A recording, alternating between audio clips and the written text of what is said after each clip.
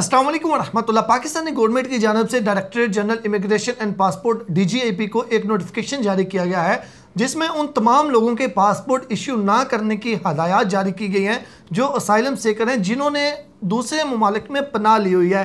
इस पर मैंने पहले भी एक डिटेल से वीडियो बनाई थी, लेकिन उसके बाद कुछ वीडियोस सोशल मीडिया पे वायरल हुई। बेसिकली उन वीडियोस में से शॉर्ट क्लिप लेके वायरल किए गए, जिसमें सिर्फ़ इतना कहा गया कि इन इन ममालक में या जितने भी दूसरे ममालक में पाकिस्तानी पनाह लेके बैठे हुए हैं तो उनके पासपोर्ट अब जारी नहीं किए जाएँगे। तो इसमें बहुत से लोग कंफ्यूज हो गए कि यार पता नहीं अब मुझे भी पासपोर्ट मिलेगा, मेरा भी रिन्यू होगा या नहीं।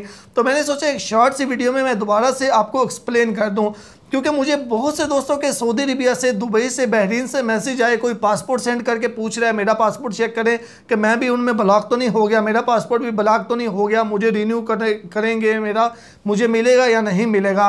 अच्छा सिंपल ये कि ये जो कानून पास हुआ है, इस पर अमल दरामद भी स्टार्ट हो चुका है। मैं आपको पहले ये बता दूँ।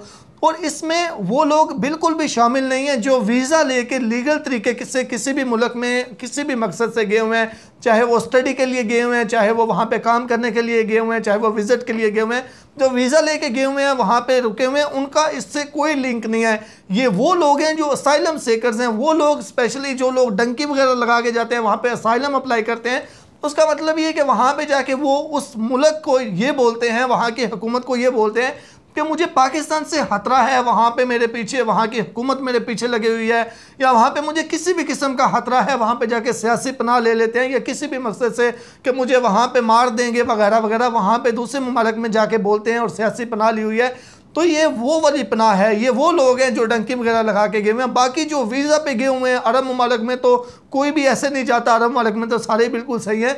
तो इसमें लिए आपको अरब कंट्रीज़ वालों को या किसी को भी परेशान होने की ज़रूरत नहीं है। ये यूरोप कंट्रीज़ के अंदर जो लोग पनाह लिए हुए हैं, जिन्होंने असाइलम अप्लाई किया हुआ है, ये उनके लिए कानून बना है। शुक्रिया।